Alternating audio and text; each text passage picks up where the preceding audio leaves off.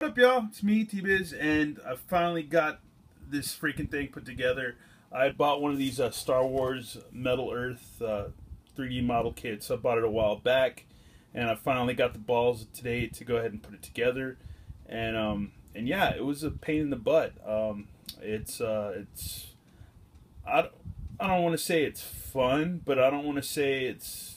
I mean, I'm stoked with with the um, with what I've got out of it. You know, after building it but um, it's pain in the butt, and uh, don't build this around a loved one or a good friend, or any you know, or or a clergyman or anybody like that, because uh, this this made me almost like really violent today. Just like I was just getting angry putting this thing together, but um, but at the same time, kind of I want to recommend it for people to like building models and people to like challenges because um, I'm not a very patient person, but at the same time, because I whined about the Walking Dead figures and how annoying those were, and uh, you know, but um, but a lot of buddies out there and stuff like um, like, like uh, a lot of Star Wars friends and Hero Statue Collector Lou. I'm sure you'd like this, and um, but uh, this thing is like a pain in the butt to put together. It's uh, here's some uh, info on the back. You use the needle nose pliers to put it together and stuff.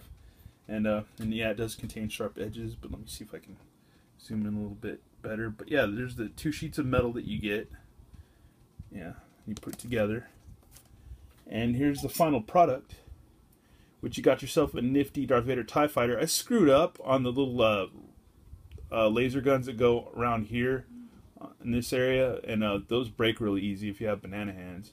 And um, this is, yeah, this is the final product up close and it's pretty cool.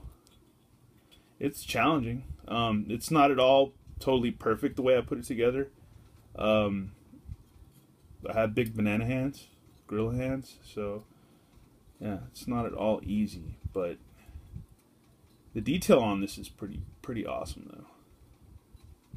Pretty awesome. You don't get a little Vader or anything, and there's no seat in there to put him in, but yeah, still pretty cool and they make I think a X-wing and a Millennium Falcon and an AT-AT, and they also have some Star Trek vehicles too that are pretty cool if you're into Star Trek.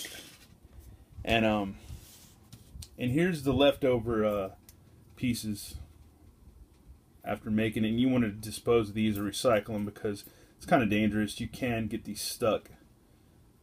These little points can't stick you, so it is kind of dangerous. Don't leave them around little kids or anything like that or animals. And um, and there's one of the laser guns. I didn't put I didn't put them both on because I broke one, so I was like, I'm just not going to go ahead and screw with that. So yeah, it's not at all perfect. But then again, I'm not the most perfect model builder in the world, so you know,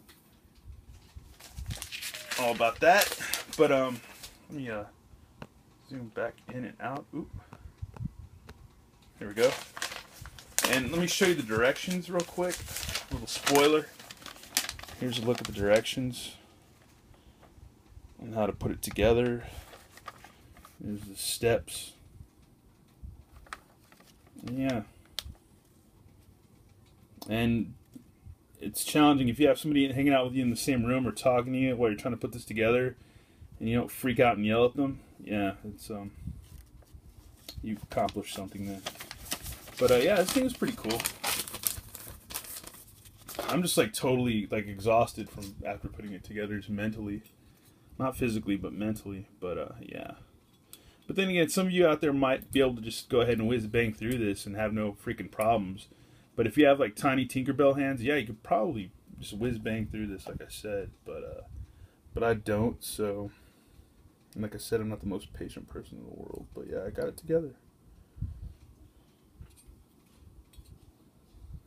Got it together.